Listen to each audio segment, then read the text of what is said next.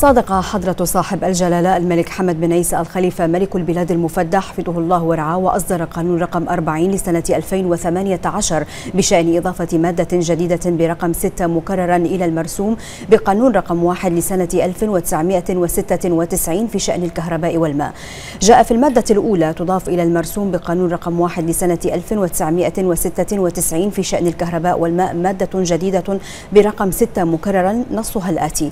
المادة 6 مكررا يعاقب بغرامة لا تجاوز الألف دينار كل من أقام تمديدات كهربائية بدون الترخيص اللازم أو غير مطابقة لشروط السلامة وذلك بالمخالفة للوائح مخالفة للوائح والقرارات والأنظمة الصادرة تنفيذا لأحكام هذا القانون.